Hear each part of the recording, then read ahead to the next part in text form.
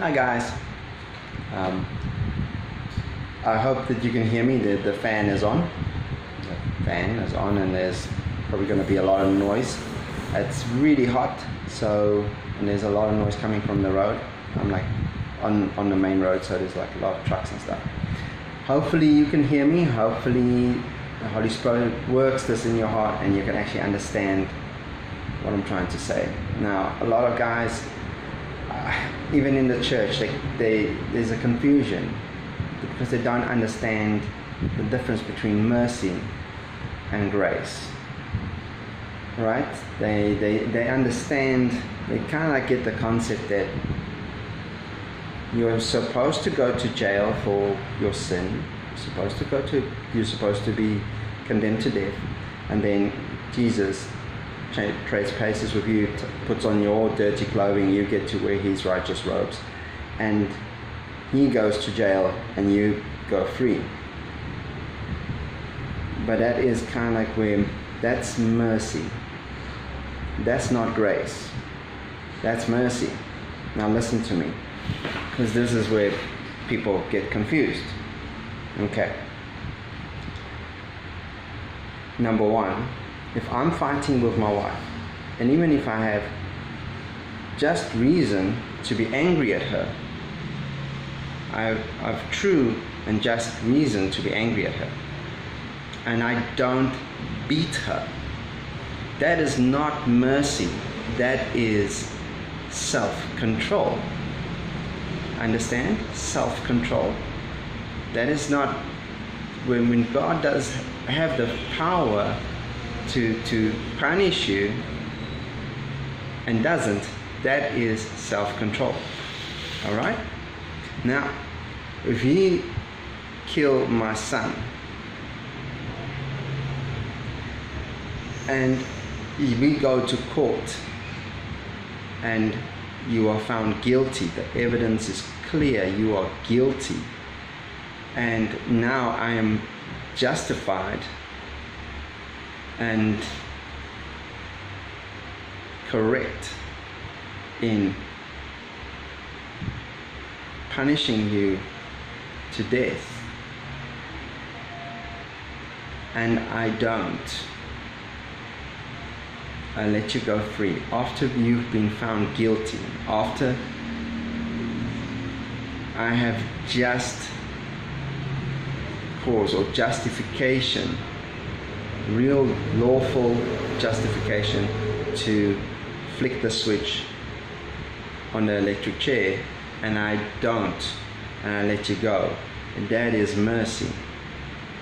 But now grace is if I take you after I don't kill you, even though I have the right to do so.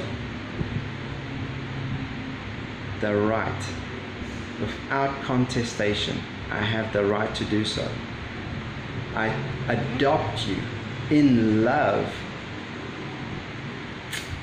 and treat you and love you as my own in my son's place. That is grace. Now, by no power of your own could you generate grace in me. And nor can we do that in the Father. That is the thing about grace. It is 100% free. And as a celebration of grace, as the love of the understanding what has been given to us, as our position as sons and daughters in the house of the Lord, we celebrate love that has been that we receive and we can extend it to others.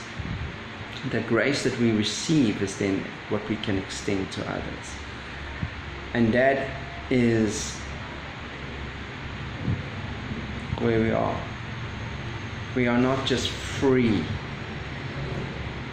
we are adopted, we are recognized as sons and daughters of the God Almighty. And nothing, nothing that you do could have made God decide to give grace on you. There's no achievement, there's no little gold medal. I ran the race, here's my gold medal. No, there's nothing. There's, there's you were condemned to death. He saved you and then in grace adopted you to be his son. Then there is I don't know how much you think you could have done to deserve that, but there's nothing. There's nothing that you could offer.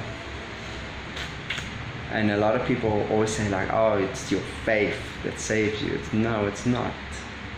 It's not your faith that saves you. It's God that saves you.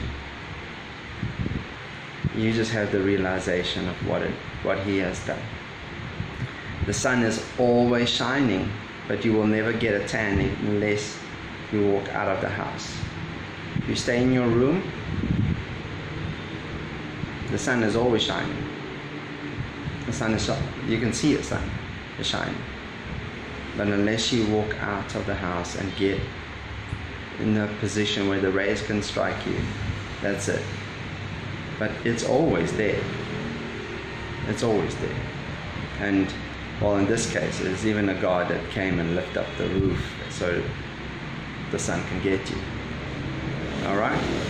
Now understand that, and uh, I love you guys, and please celebrate this if it if it resonates with you, if you understand this, and I hope the Holy Spirit opens it up for you so that you do understand it. If you have questions, please ask it in the comments. I'll be happy happy to answer everything that I can, the best that I can. All right. Um, peace. All right. Ciao, ciao.